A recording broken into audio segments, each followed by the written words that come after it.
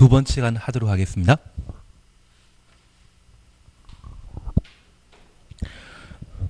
공부는 천천히 나가시는 겁니다.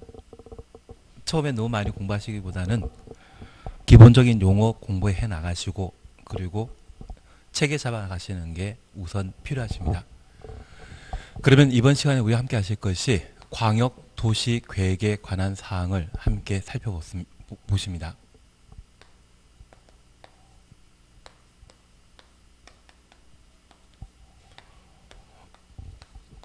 우선 지난 시간에는 광역도시계획은 장기 발전 방향을 의시하는 행정계획이라는 것 구분하신 것 그리고 두 번째 광역도시계획 수립 대상은 광역계획권인데 지역, 지구, 구역과 함께 존에 관한 사항은 지정하야 한다, 지정할 수 있다, 할 수 있다. 그 광역계획권 지정한 자는 국토였습니다. 광역계획권 지정하고자 하는 둘 이상의 도시가 둘 이상의 시도에 걸친 경우에는 국장이 광역계획권 지정할 수 있고 같은 도에 둘 이상의 도시에 걸쳐 광역계획권 지정하는 때는 도의사가 광역계획권 지정할 수 있습니다. 그래서 서울특별시장이나 대전광역시장은 광역계획권 지정할 수 없습니다.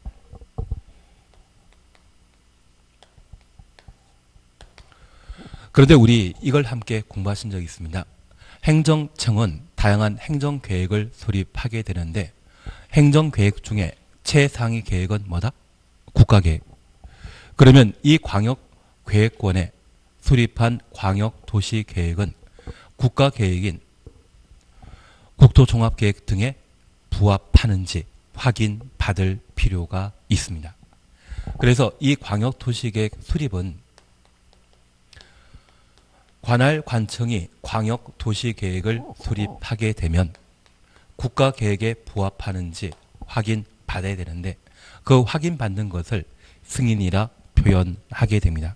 그래서 광역 도시 계획은 수립하면 뭐 받아야 된다? 국가 계획에 부합하는지 승인 받아야 되는 겁니다. 그러면 다시 우리가 봐줄 게 있습니다. 이번에 KTX를 만들고자 하면 그 KTX는 둘 이상의 시도에 걸쳐 KTX 설치가 필요하고 그때 광역계획권을 국토교통부 장관이 지정했다면 수립한 광역도시계획은 국토교통부 장관에게 승인받아야 될 것이고 같은 도에 둘 이상의 시군에 걸쳐 도로를 만들게 되면 그때 광역계획권을 지정한 자는 도지사이기 때문에 도지사에게 수립한 광역 도시 계획을 승인 받아야 됩니다. 그래서 국도는 광역 계획권의 지정권자인 동시에 광역 도시 계획의 승인권자가 되게 됩니다. 특별히 국장이 광역 계획권을 지정했다면 이 광역 계획권은 둘 이상의 시도에 걸친 것으로서 시도지사가 광역 도시 계획을 공동으로 수립하고 수립한 광역 도시 계획을 국토교통부 장관에게 승인 받도록 되어 있는데 하나 이해하실 것이 있습니다. 만약 내가 경기도지사 또는 충남도지사 세종시장에 해당되게 되면 우리 행정관할 구역에 지나가는 KTX의 역사는 적정하게 하나, 두 개 만든다? 열 개 만든다. 많이 만들, 많이 만들수록 역세권에 대한 개발 효과가 발생하게 되고 그러한 것들은 지방 재정에 큰 도움이 되며 그 지방의 발전을 도모할 수 있을 겁니다. 그래서 이 광역도시 계획을 누구의 승인받지 않고 시도의사가 수립하고 수립한 광역도시 계획에 따라 KT 만들게 되면 걔는 지하철이 되는 것이지 KTX 아니죠. 그래서 이 광역도시 계획은 시도의사 수립한다 할지라도 누구에게? 국토교통부 장관에게 따로 승인받고 국장은 국가계획에 부합하는지 확인하게 되는 겁니다. 그리고 경기도의 둘 이상의 시군에 걸쳐 도로 만들 때 특히 경기도에는 최근 서울에서는 제2 외곽 순환 도로라 하지만 이재명 도지사는 한마디가 그거 경기도만 거- 지나가니 지나가는 순환 도로기 때문에 경기 순환 도로 아니냐고 서울시장에게 한번 확인 받은 적 있습니다. 그러면 이 경기 순환 도로 만들고자 할 때 경기도에 둘 이상의 시군에 걸쳐 순환 도로 만들어지게 되면 그 도로를 어디에 위치시키는지 가장 합리적인지 시장 군수가 광역 도시계획 수립하고 수립한 광역 도시계획에 대해서는 상급 관청인 누구에게? 도의사에게. 도의사 패싱하고 국장에게 승인받는 것 없습니다. 행정청은 항상 상하 관계가 분명합니다. 행정청 중에 가장 높은 자는 대통령입니까? 각부 장관입니까? 각부 장관이죠. 그리고 지방 자치단체는 광역 지방 자치단체에 해당되는 시도와 기초에 해당되는 시군구로 각각 구분하게 되는데 특별히 기초에 해당되는 시장 군수가 수립한 광역 도시 계획은 누구에게? 도의사에게 바로 있는 자에게 광역 지방 자치단체장인 시도의사가 수립한 광역 도시 계획은 누구에게? 국장에게 승인 받도록 되어 있습니다. 그래서 이런 광역 도시 계획의 수립 승인에 관한 계율을 파악하셨다면 첫 번째 수립권자와 관련되어 광역 도시 계획을 수립하는 원칙적인 수립원자는 국토교통부 장관이 지정한 광역 계획권인 경우에는 시도 지사가 공동으로 광역 도시 계획을 수립하고 도지사가 지정한 광역 계획권의 경우에는 시장 군수가 광역 도시 계획을 공동 수립하도록 되어 있습니다. 공동으로 수립하는 것은 서로 합의가 이루어졌을 때 가능한 이야기가 될 겁니다. 그런데 우리 시험에는 원칙이 나온다, 예외가 나온다. 예외. 그런데 이 예외는 승인권자인 국도가 광역도시계획 수립에 각각 3개의 예외를 두고 있습니다. 그래서 국도가 광역도시계획 수립에 참여하는 것을 예외라 표현하게 됩니다. 우리 28페이지에 양가 1번 원칙에 3, 4 그리고 예외 1, 2, 3 이걸 묶어 놓으셨는데 4번 보게 되면 국가계획이라는 것 추천하고 그리고 광역계획권 지정 한 날부터 3년 지날 때까지 시도지사로부터 광역도시계획 승인청 없는 경우에는 국장이 광역도시계획 수립할 수 있다. 확인되시죠? 그래서 지, 지금 4번이 예외 두 개를 내포하고 있는 겁니다. 그러면 이제 다시 한번 봐놓을 게 있습니다. 원래 국도는 광역도시계획 승인권자인데 예외적으로 광역도시계획의 수립에 참여하는 경우가 있습니다. 첫 번째 우리 기억하실 것 예외 몇 개이다? 세 개. 국도가 광역계획권 지정했다면 그 광역계획권 어디에 KTX 만들 것인지 지하철 만들 것인지 그에 관한 광역시설 설치에 관한 광역도시계획 수립을 원하는데 국도가 광역계획권 지정했지만 3년 지나도록 광역 도시계획 수립이 없다고 하면 답답해서라도 국도가 광역 도시계획 수립에 직접 참여하게 됩니다. 그래서 국토교통부 장관이 광역 도시계획을 예외적으로 수립하는 것으로서 3년 경과시까지 광역 도시계획 승인 지정 없다고 하면 누가? 국토교통부 장관이 광역 도시계획 수립을 직접 할 수 있습니다. 그리고 두 번째입니다. 국가계획과 관련된 광역도시계획 수립이라고 하면 그때는 국토교통부 장관이 광역도시계획 수립할 수 있는데 이번에 서울에서 목포까지 KTX 새로 만든다 하더라고요. 그리고 한 이야기가 무한공안 거친다 그런 이야기도 나오는데 이런 광역도시계획 수립을 시도의사에 맡기게 되면 경기도의사는 자신의 행정관할 구역에 KTX 정찰력 하나 만든다? 10개 만든다. 10개 만들 수 있습니다. 지하철 되는 것을 방지할 목적으로 국가계획과 관련된 광역도시계획 수립은 누가? 국토교통부 장관이 수립할 수 있다는 이야기입니다. 그리고 세 번째, 시도지사가 요청하면 국토교통부 장관과 시도지사가 공동으로 광역 도시 계획을 수립할 수 있습니다. 하나 이해하실 것이 있습니다. 서울에 쓰레기가 발생하게 되면 그 쓰레기는 서울에 잘 매립하고 있다. 인천에 매립하고 있다. 인천 서구에 매립하고 있습니다. 그런데 인천시장이 이 쓰레기 처리와 관련된 광역도시계획 수립을 직접 하게 되면 다음 선거에 그분 당선 못하거든요. 그래서 그런 곤란한 일이 발생하게 되면 국토교통부 장관을 전면에 앞세우고 시의사가 뒤에 포진해 있으면 자기가 결정한 것처럼 안 보이거든요. 그래서 자기의 부담이 발생할 수 있는 상황이라면 시의사가 요청해서 국토교통부 장관, 시의사가 공동으로 광역도시계획을 수립할 수 있습니다. 그래서 국장이 광역도시계획 수립에 예외적으로 참여하는 것은 몇 개이다? 세 개라는 것 확인해 놓습니다.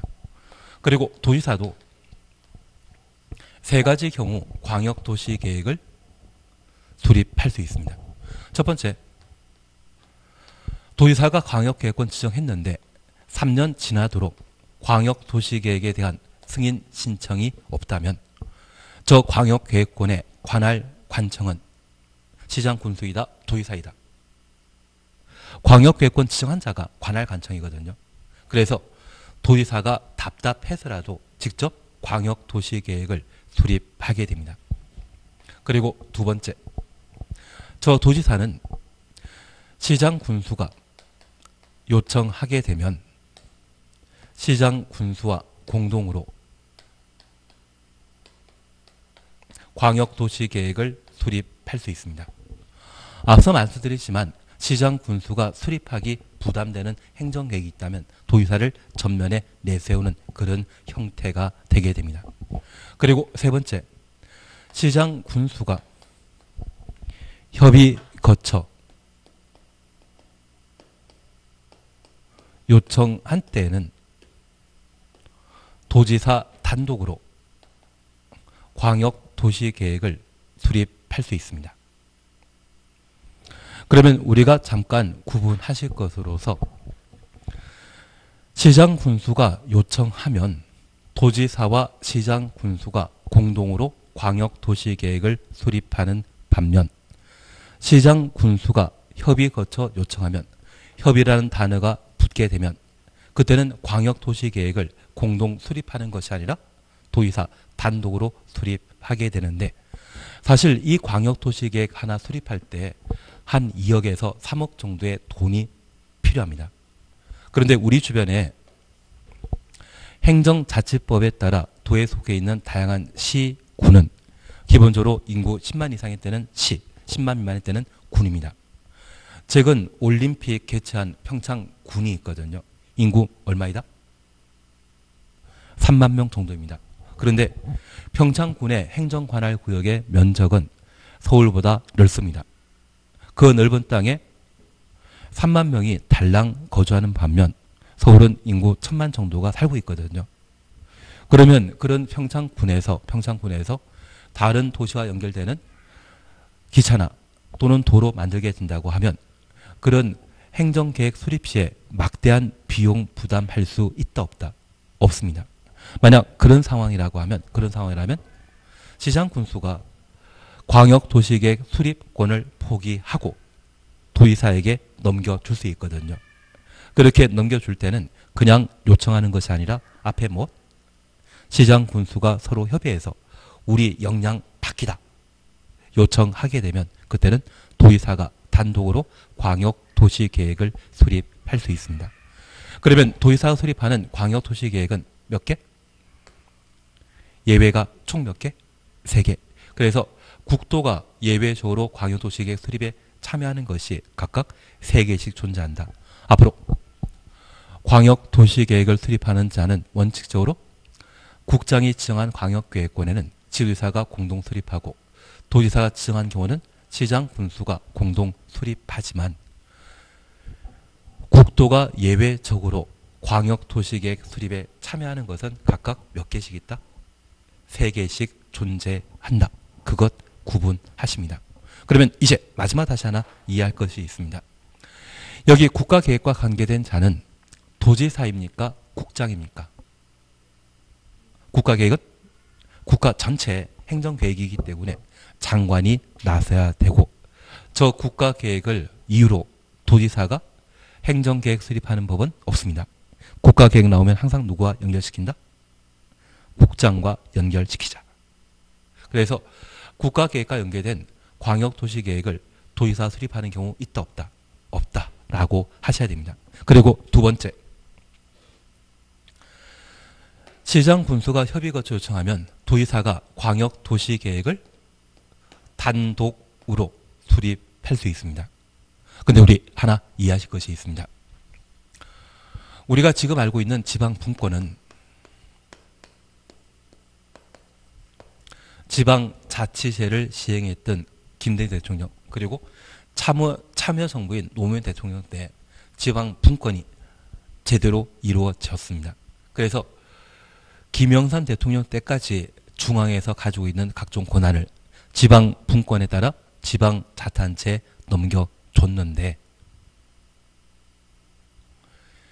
시도 지사가 협의 거쳐 요청하면 국토교통부 장관 단독으로 광역도시계획 수립하는 것은 없습니다. 그래서 중앙이 가지고 있는 권한을 지방 자치단체장인 시도지사에게 넘겨줬는데 그 시도지사가 나 이것 내 능력 밖이야. 다시 중앙에 반환하면 된다 안 된다. 지방 분권에 순행하는 것입니까? 역행하는 것입니까? 역행하는 일은 할 수 없습니다. 그래서 시도지사의 협의 거쳐 요청한 때 국토교통부 장관이 단독 수입하는 것은 없지만 시장 군수가 협의 거쳐 요청하면 도지사가 단독으로 광역도시계획 수립할 수 있는데 이 도지사는 중앙 정부이다 지방 정부이다. 지방이 가지고 있던 권한을 지방 자탄체 상급관청에게 넘기는 것은 가능한데 시도지사가 가지고 있던 권한을 국토교통부 장관 중앙행정청에 넘기는 것은 된다 안 된다 안 된다 그걸 구분을 해 주셔야 됩니다 그래서 국가계획은 국토교통부 장관 유일의 광역도시계획 수립 사유가 되고 협의 거쳐 요청하는 때 도의사가 단독 수립하는 것은 도의사에 있어서 국한되는 예외에 해당된다는 것을 파악해 놓습니다. 반면 3년 경과 공통된 내용입니다. 그리고 요청하면 공동 수립한다. 공통된 사유인데 국가계획과 협의 거쳐 요청하는 때 이러한 것들은 국도의 고유의 광역도시계획 수립 예외에 해당된다라는 것을 파악해 놓습니다. 한번 광역도시계획 내용 볼 필요 없습니다. 천천히 하시면 됩니다. 얘는. 그리고 4번 광역도시계획 수립 기준입니다. 광역도시계획 수립 기준은 국토교통부 장관이 정한다. 수립 기준 추천놓으시고 국토교통부 장관 줄만 쳐놓습니다. 얘가 뭔진 모르겠지만 시험에 그렇게 잘 나옵니다. 대신 시험에 내게 되면 이 수립 기준을 지도의사가 정한다. 이런 식으로 시험에 나옵니다. 그런데 우리 하나 이해하실 것이 있습니다. 이 광역도시계획은 한 번만 수립한다. 여러 번 반복해 수립한다. 여러 번 반복해 수립합니다. 그래서 현재 서울에는 수도권이라고 하는 광역계획권과 서해안권이라 해서 평택을 거점 도시라 하고 있는 광역 도시 계획 그리고 우리 지금은 없어졌지만 마진창이라는 곳이 있거든요. 마산, 진해, 창원 통합하는 것. 그리고 광양, 여수, 순천, 광양권이라고 하는 그런 광역계획권이 현재 지정되어 있는 상태입니다. 그러면 이러한 곳마다 각각 광역도시계획 수립할 때 그 수립 기준은 전국에 동일한 기준 적용할 필요 있죠. 그래서 전국을 관할하고 있는 국장이 각종 수립 기준을 결정하게 됩니다. 그래서 앞으로 우리 약속해 주실 것이 지침 또는 기준 이런 말 보게 되면 누가 결정한다? 전국을 관할로 하고 있는 국장이 기준을 결정하는 주체라는 것을 파악해 놓습니다. 그 정도면 충분합니다. 그리고 5번 광역도시계획 성격이 있는데 얘는 크게 신경 쓸 필요 없습니다. 다만 우리 하나 이해해 주실 것이 있습니다. 여기 광역도시계획은 지정된 광역계획권의 장기 발전 방향을 제시하는 행정계획인데 이 방향은 꿈 그리고 비전이거든요. 이런 광역도시계획은 일반 국민에 대한 구속력 있다 없다 하나 이해하실 것이 있습니다. 이 광역도시계획은 광역도시계획은 미래에 이렇게 해보자, 이렇게 잘 살아보자 그 방향 제시하는 행정계획인데 이러한 꿈은 크게 가지는 것도 괜찮으시죠. 그래서 그 꿈은 구속력 없습니다. 우리 초등학교 때 아니면 국민학교 때 학교 다녔을 때 나는 장래 뭐 될 것인가 누가 물어보면 자신 있게 대통령이라고 한 사람이 있습니다. 그래서 우리 역대 초등학교 때 국민학교 때 대통령이 꿈인 분이 그 꿈을 이루신 분이 딱 한 분 계시거든요. 김영삼 대통령은 어릴 때부터 꿈이 대통령이었는데요. 나는 그런 꿈 가진 적 있다? 그러면 그런 꿈 가졌을 때 주변 친구들이 헛된 꿈 꾸지 말아라고 타박했으니까 그래 열심히 한번 해봐라 그렇게 이야기하셨습니까? 별 생각 없습니다. 옛날 이야기이기 때문에 그래서 저 꿈은 거창하게 가지건 소박하게 가지건 그 꿈은 존중될 필요가 있는데 그 꿈을 달성하지 못했다고 해서 처벌받고 야단 맞을 일은 아니죠. 그래서 이 광역도시계획과 관련되어서는 꿈에 해당되는 것으로서 구속력 없는 사안입니다. 다만 제가 앞서 오늘 첫 시간 때 지난주 정리드리면서 이 구속력 있는 행정처분은 행정처분에 따른 일정한 권리 의무가 발생하고 잘못된 행정처분에 대해서는 행정심판과 행정소송을 제기할 수 있다. 이 말씀 드렸는데 구속력 없는 광역도시계획에 대해서는 행정심판과 행정소송 대상이 될 수 없습니다. 구속력 있는 행정처분에 대해서만 행정심판, 행정소송을 제기할 수 있지. 구속력 없는 광역도시계획은 행정심판, 행정소송의 대상이 아니다. 그걸 확인해 놓습니다. 그리고 두 번째 우리 봐줄 것이 있습니다. 이렇게 수리권자에 관한 사항을 보셨다고 하면 이제 승인권자, 승인권자는 누구이다? 광역계획권 지정했던 국도가 승인권자라는 것 확인해 놓습니다. 이제 우리가 조금 힘든 이야기겠지만 얘를 극복하는 게 필요합니다. 지금 우리는 광역 도시계획 절차에 관한 사항을 보시면서 개요, 행정계획은 수립, 승인하는 절차를 거친다더라.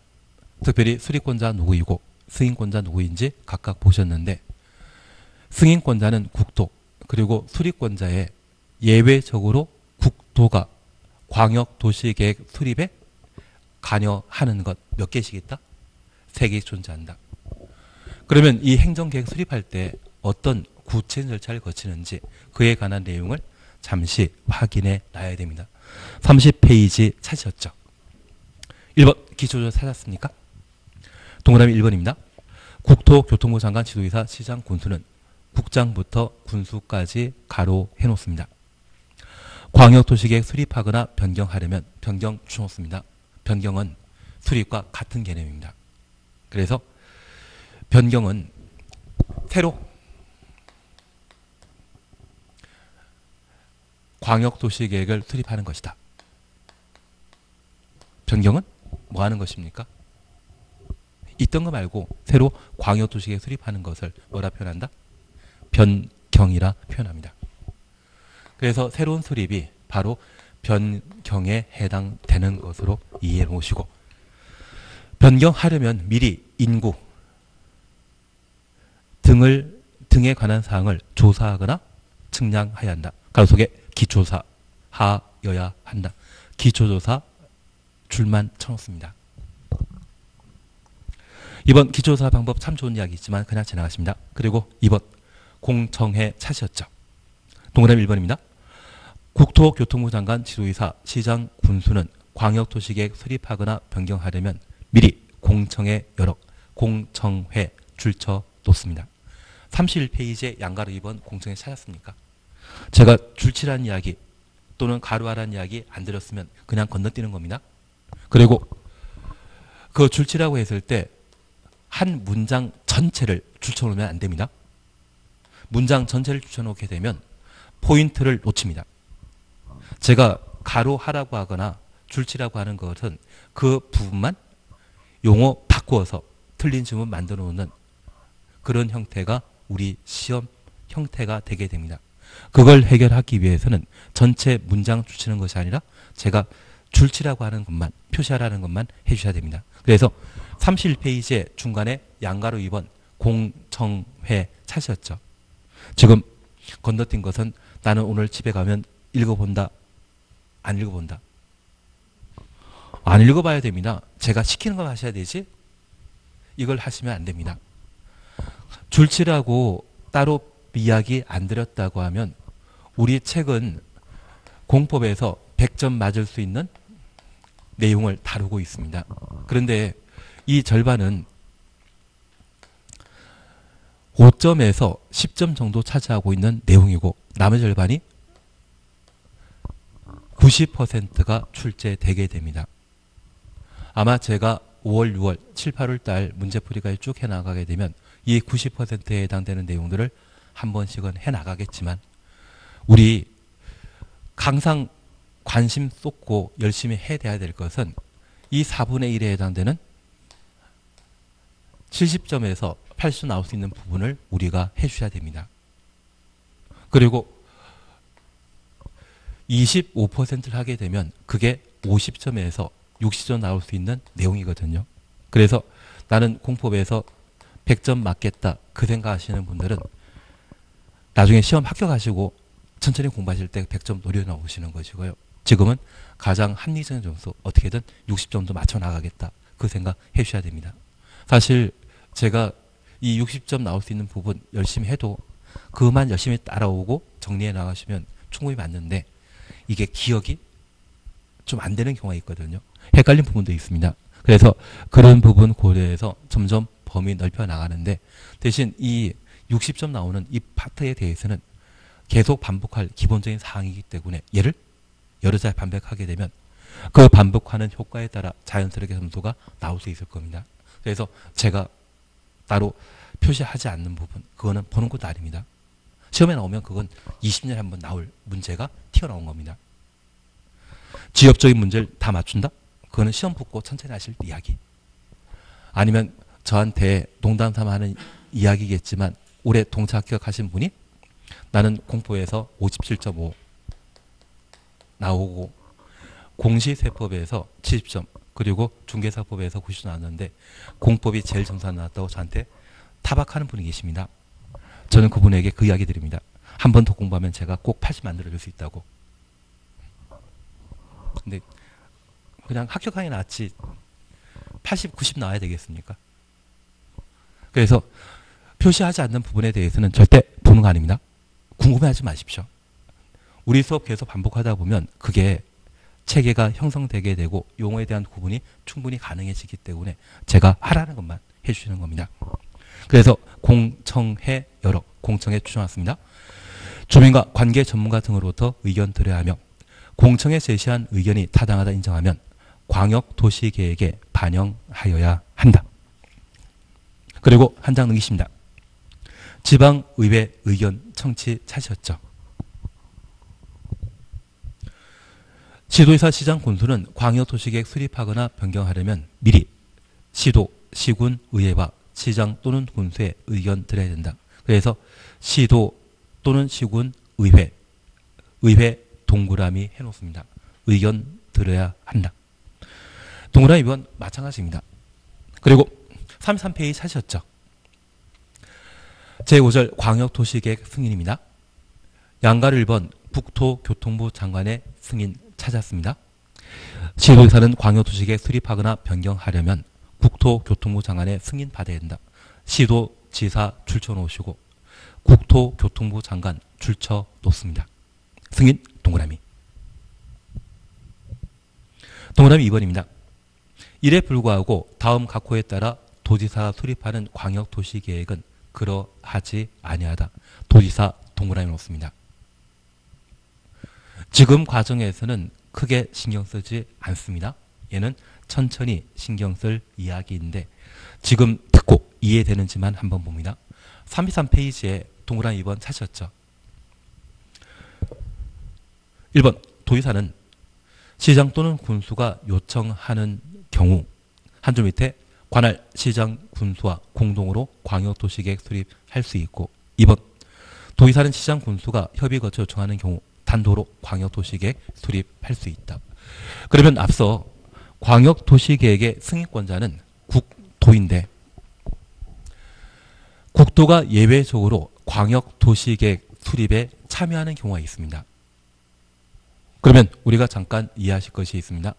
이 도지사가 광역 도시계획 수립에 예외로 참여하는 것은 광역계획 거치한 날부터 3년 지날 때까지 시장 군수가 광역도시계획 승인 신청하지 않았거나 시장 군수가 요청하면 도의사는 시장 군수와 공동으로 광역도시계획 수립할 수 있고 시장 군수가 협의 요청하면 도의사는 단독으로 광역도시계획을 수립할 수 있습니다. 이때 도지사가 광역도시계획 수립에 참여한 것은 승인권자인 도지사가 광역도시계획 수립에 참여한 것이죠.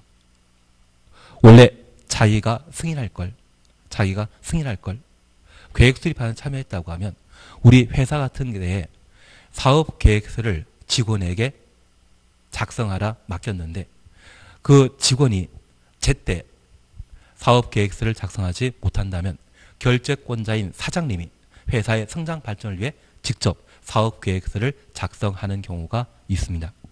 사장이 작성한 사업 계획서는 따로 결제 받아야 된다?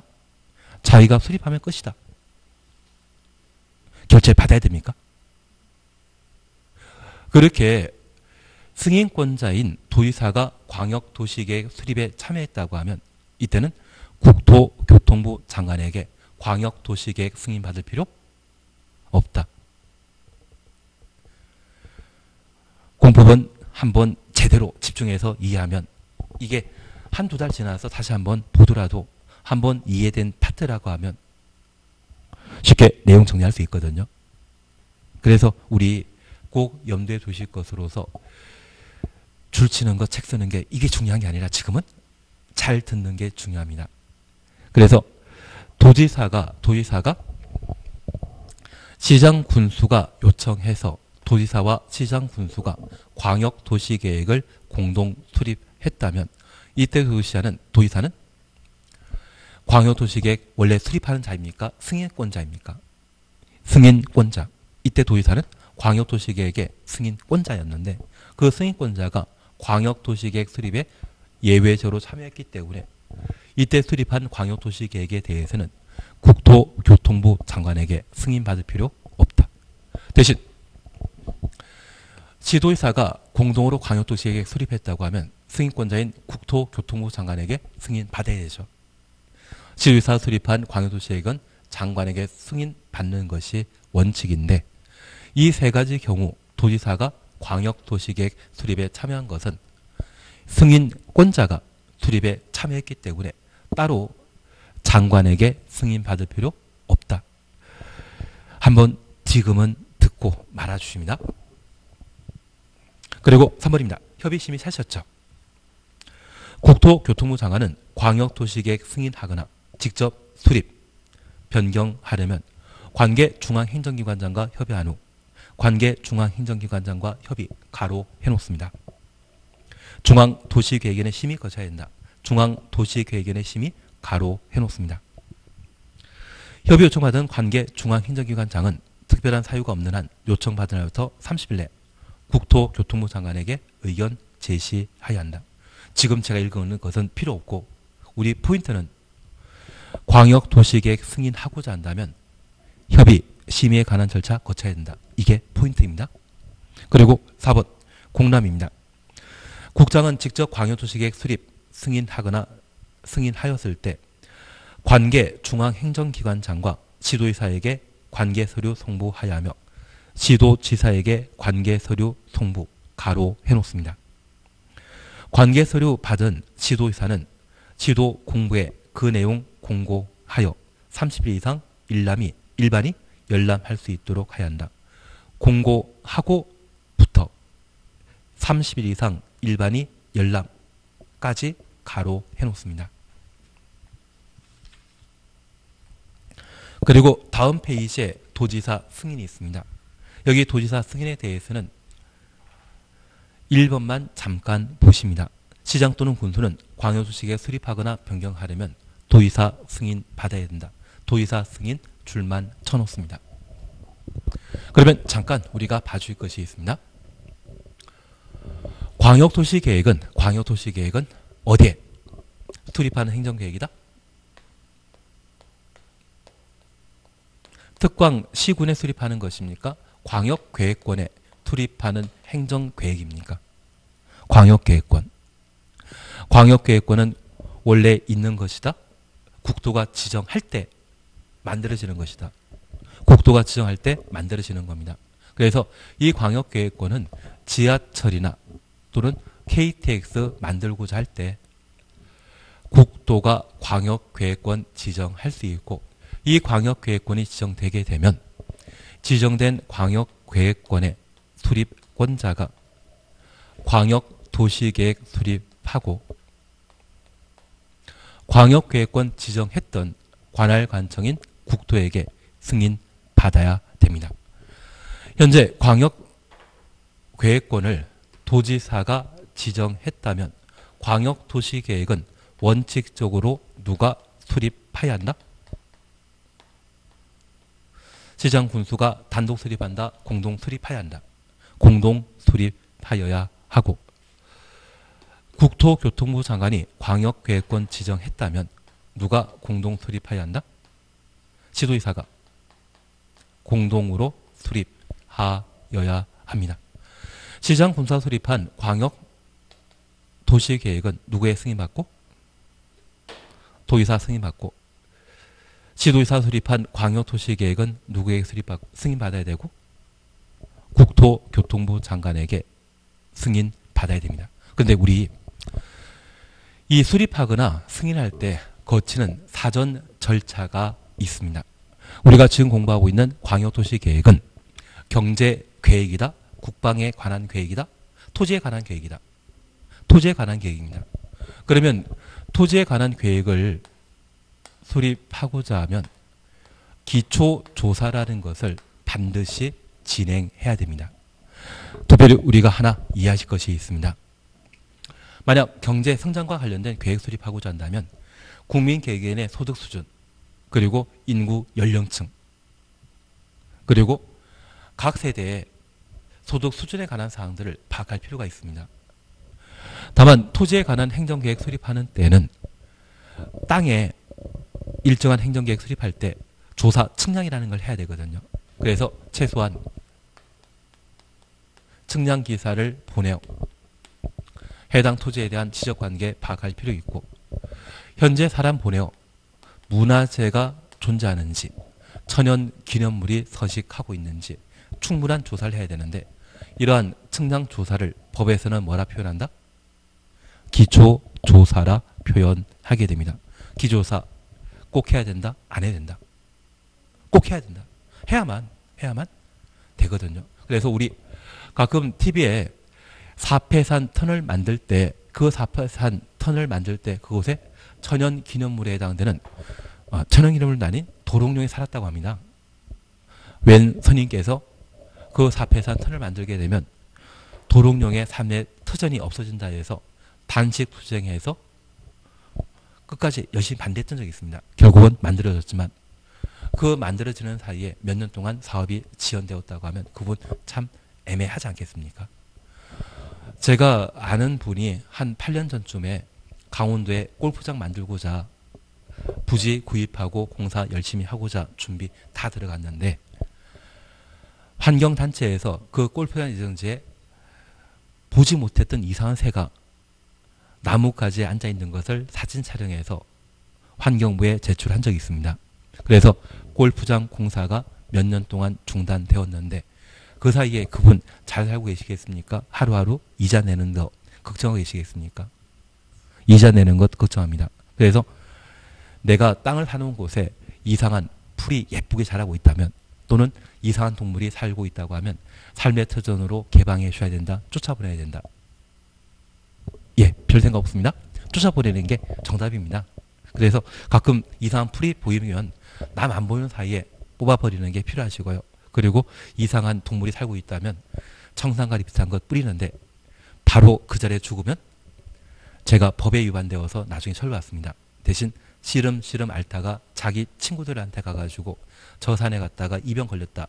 마지막 유언 남기면 동료들이 찾아오지 않겠죠. 근데 그게 얼마 양인지 잘 모르겠습니다. 그래서 그렇게 관리하는 것이 재산 가치를 유지할 수 있는 방법이지 그냥 잘잘하게 내버려 두는 건 좀 아닙니다. 그래서 그런 천연 기념물이나 현지 사정을 파악하는 것을 뭐라 한다? 기초 조사라 표현하게 됩니다.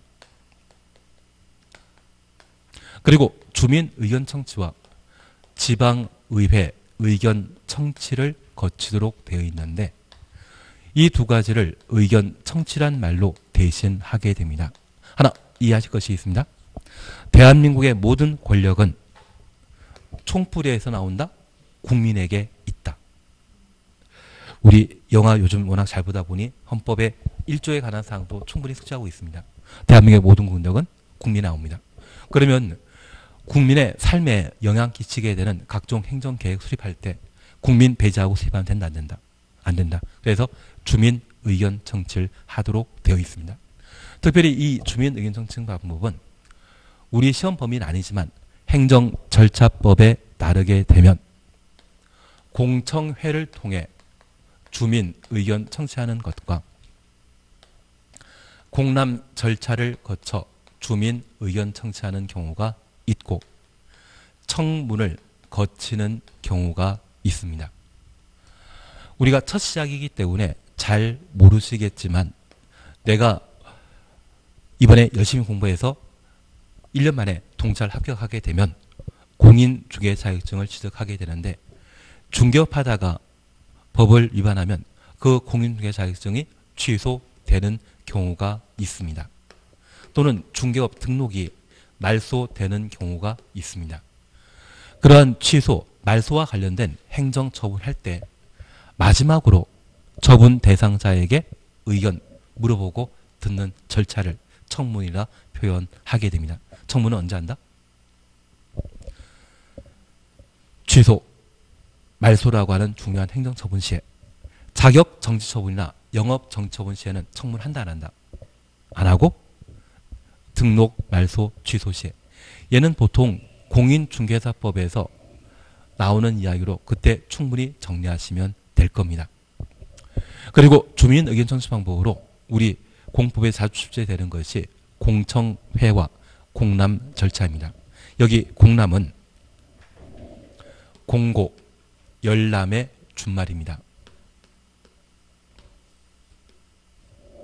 우선 공청에 관한 이야기 드리면 이 공청회는 우리가 지금 이런 강의실에 함께 모여서 행정계획 수립하는 내용과 관련되어 서로 의견을 주고받는 방법을 통해 의견 수렴하는 절차입니다. 그래서 공청회는 강의실에 이렇게 모여 있는 것 자체가 공청에 해당된다. 그렇게 이해해 놓습니다. 다만 가끔 수도권 일대 3기 신도시 지정 발표 시에 서울 주변에 있는 왕숙 지구의 경우에는 농경지 한 평이 평당 150만 원 정도 합니다. 논 밭이 평당 150만 원이면 좀 비싼 편이거든요. 그런데 이 농경지를 강제 수용하게 되면 반값도 안 되는 평당 60만 원 정도의 강제 수용하게 됩니다. 그러면 강제 수용 당했을 때 시가보다 현저히 낮은 가격으로 강제 수용 당하게 되면 토지 소유자 입장에서는 충분한 보상을 받지 못했을 때 수용과 관련된 공청회를 하게 되면 그 자리에 그냥 잘 입장한다. 양손에 계란 두 개씩 들고 간다. 계란 들고 가실 상황입니다.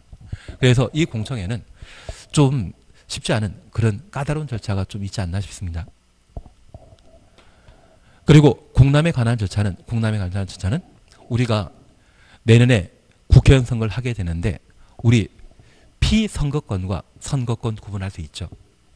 의원에 출마하게 되면 피선거권을 행사하는 것이고 내가 뽑으면 선거권 행사하는 것인데 선거인 명부 동사무소에 비치해 놓고 명부에 빠졌는지를 확인해 보라. 그렇게 열람시켜 주는 경우가 있습니다. 그러면 선거인 명부 열람해라. 신문에 광고하고 일정한 기간 동안 보는 것을 공남, 공고 열람의 주말인 공남이라 표현하게 됩니다. 그런데 우리 하나 이해하실 것이 있습니다. 여기 공청회는 이런 강의실에 한번 모여서 공청회를 통해 의견 수렴하는 절차인데 이 공청회 개최하는 사실을 미리 알려줘야 됩니다. 그래서 공청회 개최 예정일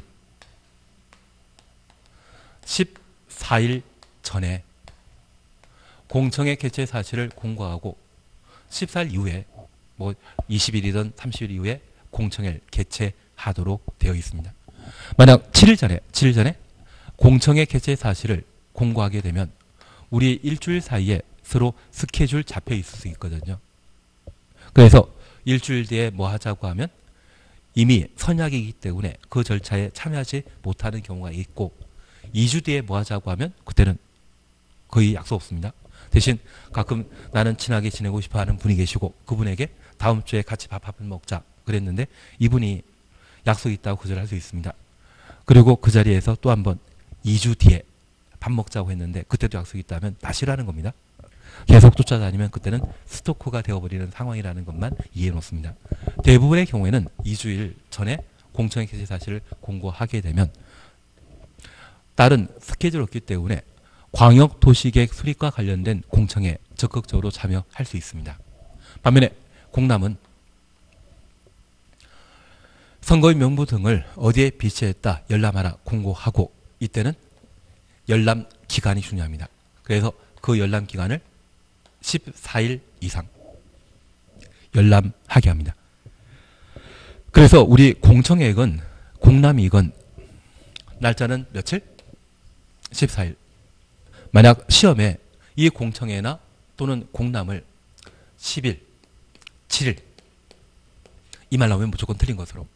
대신 14일 이상, 14일 전이라고 하면 20일 전에 또는 30일 전에 공청회 제 사실을 공고하고 열람 기간을 20일 이상, 30일 이상 정해 놓는 것은 14일 이상 범위에 포함되기 때문에 얘는 옳은 지문이지만 만약 10일 전에 공청회 제 사실 공고한다? 10일간 열람하게 한다. 이 말 나오면 맞다 틀리다. 틀리다. 항상 우리가 기억하실 것. 공청회는 14일 전입니다. 그리고 공람, 열람은 며칠 이상?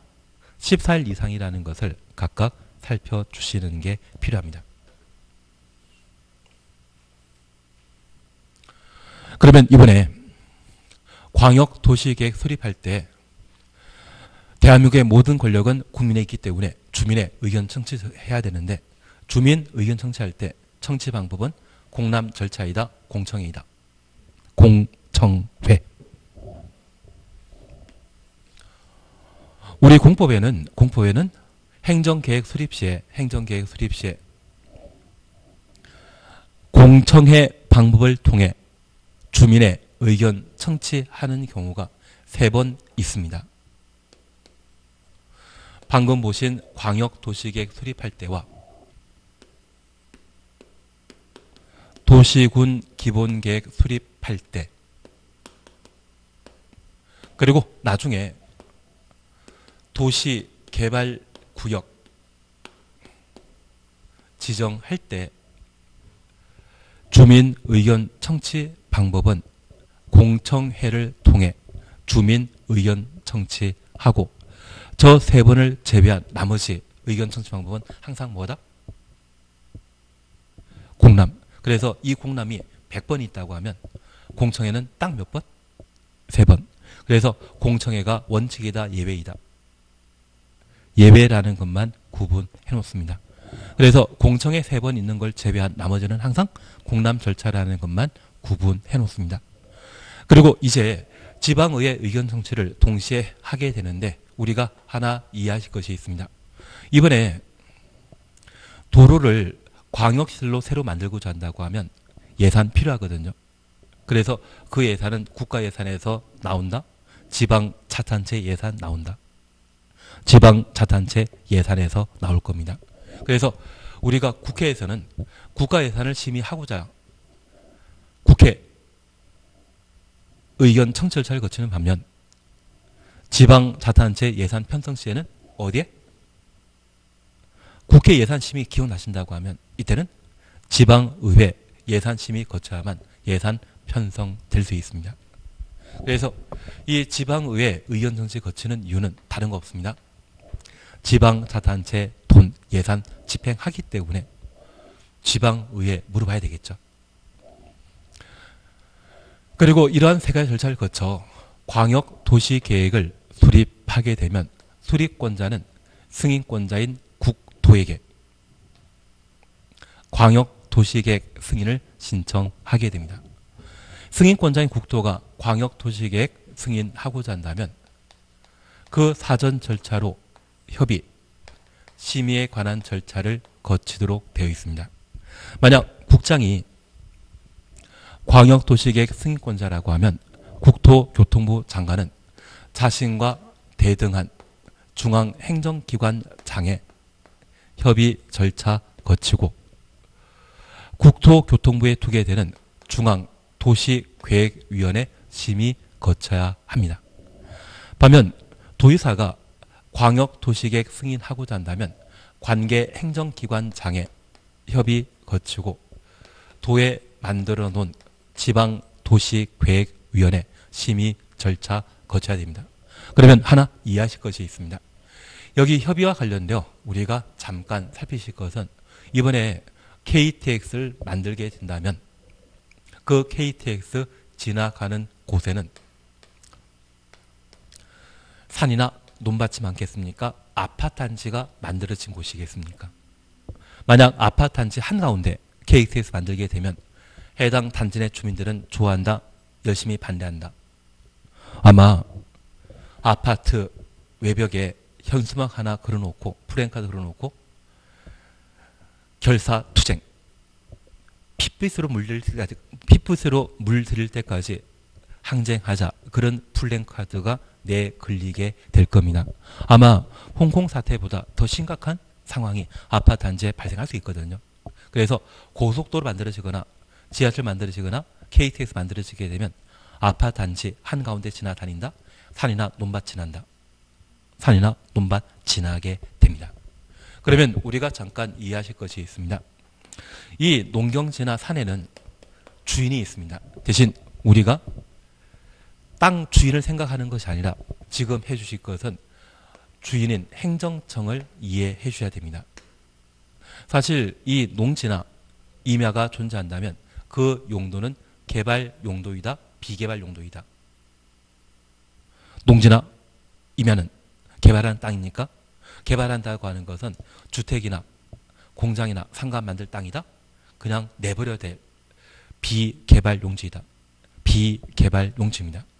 그러면 대한민국의 농경지는 식량의 자급자족과 관련된 중요한 곳으로서 얘를 훼손하고 농지를 없애버리게 되면 공익에 큰 문제 발생할 수 있거든요.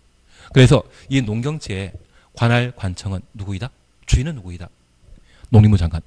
그리고 산의 관할 관청은 누구이다? 산림청장. 그러면 이번에 KTX 만들거나 고속도로 만들면서 산과 농지를 훼손하게 되었을 때 국토교통부 장관이 승인하고자 하는데 장관 마음대로 할 수 있는 땅이다? 이들에게 물어봐야 된다. 이들에게 물어봐야 됩니다.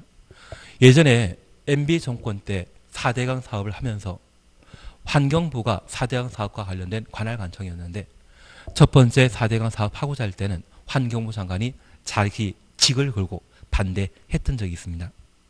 원래 환경부는 개발 부처입니까? 비개발 부처입니까? 비개발 사업하는 거 아닙니다. 그래서 개발 사업 하게 되면 환경상 어떤 문제가 있기 때문에 이것 안 돼. 이런 이야기만 계속 나오는 기관이 환경부인데 직을 걸고 반대한 적이 있습니다. MB가 그냥 놔두겠습니까? 그분 잘라버렸겠습니까? 잘라버리고 그 다음에는 말 잘 들을 분 그분을 임명하셔서 4대강 사업을 한 적이 있습니다.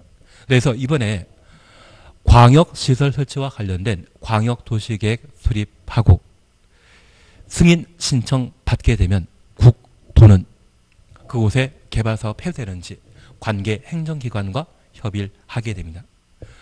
협의 관청에서 그래 개발해도 돼 동의하면 가능한 것이고요. 반대 입장 표명하게 되면 불가능합니다. 그래서 이 협의는 왜 하는 것이다? 공공복리. 공공복리를 달리 표현하면 뭐다? 공익에 부합하는 사업인지. 그래서 농경지나 임야 일부를 훼손하더라도 KTX 만드는 게 공익에 더 부합하다고 하면 그때는 개발하겠다. 그런 의미가 되게 됩니다.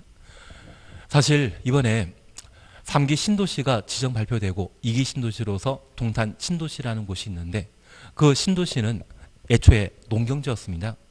그 농경지에 식량 자급자족 포기하고 개발하는 것이 더 합리적인지 농지를 관장하고 있는 농림부 장관이 찬성하면 그제서야 신도시 정이 가능한 것입니다. 그래서 공익에 부합하면 협의 통과하는 것이고 공익에 부적합하다 하면 협의 된다 안 된다.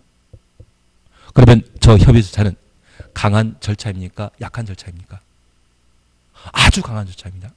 관계 행정기관, 관계 중앙행정기관장이 한면에 반대하게 되면 그 사업 못하는 그런 상황이 되게 됩니다. 그리고 두 번째, 국토교통부 장관이 광역도시계획 승인하고자 한다면 중앙도시계획위원회 심의 거쳐야 되는데 이 중앙도시계획위원회 나는 들어본 적 있다?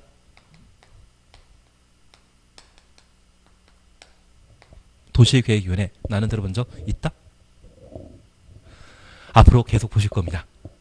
그런데 이 도시계획위원회는 도시계획과 관련된 전문가, 교수들이 모여있는 기구가 도시계획위원회인데 국토교통부에 만들어져 있으면 중앙 도시계획위원회고 시도, 특별시, 광역시, 도, 시군에 만들어지게 되면 지방 도시계획위원회라 표현하게 됩니다. 그러면 이 도시계획에는 심의 거쳐 광역도시계획 승인하게 되는데 이 도시계획위원회 심의 거치는 이유는 타당성에 관한 문제입니다. 하나 이해하실 것이 있습니다. 서울에는 강화문인 거리라 해서 가끔 차도 다니지만 집회하는 그런 곳이 있습니다. 그런데 우리 평창군이 인구 3만 그리고 지방에 10만 정도 되는 도시에 강화문 거리 같은 도로 만들면 차들이 잘 이용할 수 있다. 지나치게 큰 것이다. 서울에는 그런 강화문 거리가 필요할 수 있겠지만 인구 5만, 10만인 도시에는 그 강화문 거리 필요 없습니다. 그 강화문 거리는 도로 폭이 70m 정도 되거든요. 그래서 왕복 16차선 도로가 형성되어 있는데 이러한 왕복 16차선 도로를 인구 10만 사는 곳에 만들어줄 필요 있다 없다? 없습니다. 그리고 그냥 우리 그냥 재미로 이해하시는데 전국에는 다양한 혁신 도시와 기업 도시가 있고 도청 이전한 경우도 있습니다. 가장 최근에 도청 이전, 이전한 것으로서 충청남도에 내포 신도시라는 것이 만들어졌습니다. 이 내포 신도시인 도청 같은 경우에는 도청 기능과 자급자족 기능을 도모하기 위해 산업단지까지 함께 조성한 적이 있습니다. 그리고 이 내포 신도시 만들었을 때 계획 인구가 한 20만 명 정도인데 지금 내포 신도에 살고 있는 사람은 20만이다? 10만 안 된다. 10만이 현재 안 됩니다. 그런데 저 20만 명이 살기 위해서 땅을 개발하게 되었을 때 한 200만 제곱미터를 개발했고 실제 거주하는 인구가 5만 밖에 안 된다고 하면 저 4분의 3에 해당되는 공간은 건물 들어서지 않고 빈 공지로 남아있거나 건물 만들어졌다 할지라도 빈 상가가 형성돼 있을 겁니다. 이것 유령 도시이죠. 그래서 적정한 규모로 개발하고 있는지 그 규모에 대한 타당성을 검토하기 위해 두고 있는 절차가 심의 절차가 되게 됩니다. 이런 두 개의 절차를 못 통과했다면 국토는 광역도시계획 승인하게 되고 승인하면 바로 효력 발생하는 거 아닙니다. 우리가 하나 이해하실 것이 있습니다.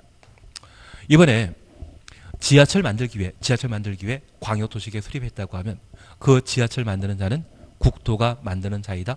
수립권자가 만드는 자이다. 수립권자 만들어야 됩니다. 국토는 승인한 자일 뿐 직접 지하철 만드는 자 아니거든요. 그래서 수립한 자에게 광역 도시 계획을 송부하고 송부받은 수립권자는 이번에 광역 도시 계획 어떻게 만들어졌는지 주민에게 알려줄 필요 있죠. 그래서 주민에게 공고하고 30일 이상 열람하게 합니다. 여기 30일이라고 하는 것은 큰 의미 없는데 우리가 잠깐 이해해 주실 것은 수도권에는 GTX A, B, C 노선 그리고 향후 D 노선까지 만들겠다고 합니다. 그래서 아마 이 D 노선이 만들어지고 이 D 노선이 개통되게 되면 새로 만들어지는 D 노선 주변에는 땅값이 많이 올라갈 상황이 되게 될 겁니다. 그래서 이런 GTX 노선이 만들어지게 되면 그것은 광역도시계획과 관계된 사항이라는 것 이해해 주시고 이게 만들어지게 되면 땅값 많이 올라가거든요. 그래서 광역도시계획은 땅값 어디가 오르는지 우리에게 알려주는 행정계획이 되는 겁니다. 취지는 조금 이해되시겠습니까?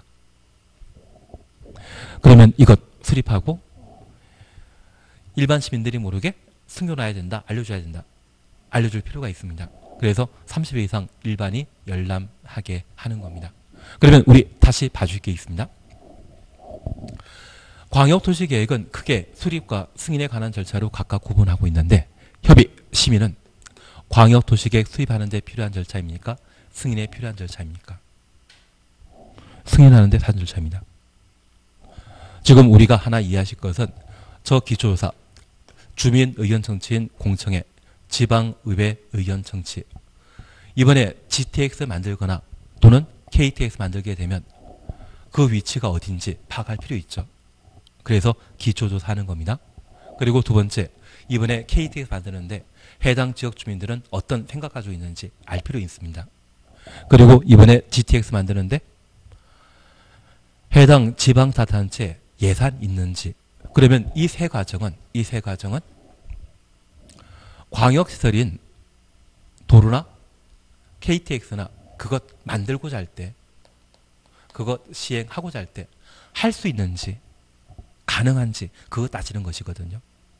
반면에 승인 시에 필요한 협의 심의에 관한 절차는 이번에 KTX 만드는데 그 만드는 곳에 농지나 산을 없애버리고 산 밀어버리고 고수로 새로 만들게 되면 그 사업이 공익에 해당되는지 그리고 규모가 적정한지 그것 검토하는 과정입니다. 그러면 이 협의 심의에 관한, 관한 사항은 광역시설인 KTX 만드는 데 필요한 절차입니까? 공익성과 타당성도 하는 것입니까? 이건 실제 만들 때 필요한 것이거든요. 얘는 뭐 할 때? 공익에 부합하는지 타당한지 그것 검토하는 절차가 되는 겁니다. 그러면 이 기초조사 주민의견 정치, 지방의회 의견 청취는 수립에 필요한 절차이지 협의하는 절차이다 아니다. 아닙니다. 그래서 우리가 다시 한번 봐주실 것은 저 기초조사 등을 하는 자는 승인권자가 진행하는 절차이다. 수립권자가 진행하는 절차이다. 이 세 개는 수립권자가 반면 협의 심의에 관한 사항은 수립권자가 진행하는 절차이다. 승인권자인 국도가 하는 절차이다. 승인권자가 하는 절차입니다. 그래서 얘가 한 절차처럼 보이지만 기초조사, 주민 의견 청취, 지방의회 의견 청취는 승인권자 하는 것이다. 수립하는 자가 하는 것이다. 수립하는 자가 하고 협의 심의에 관한 절차는 누가 하는 것이다? 승인하는 자가 거치는 절차가 되게 됩니다. 그래서 지금 이 개요를 한번 봐놓으시는 게 여기에 필요한 사안이었습니다. 6절 광역도시계획 조정 필요 없습니다. 7절 광역도시계획 협의 구성 얘가 시험에 나오면 한 10년에 한 번 나옵니다. 그런 거는 나중에 문제 풀이할 때 잠깐 하면 되지 평상시 할 필요 없다. 그리고 36페이지에 도시군 기본계획 사셨죠. 얘를 쉬었다 하실 겁니다. 근데 적는 것보다는 수업에 집중하는 게 좋으십니다. 그게 아니면 할 게 너무 많아집니다.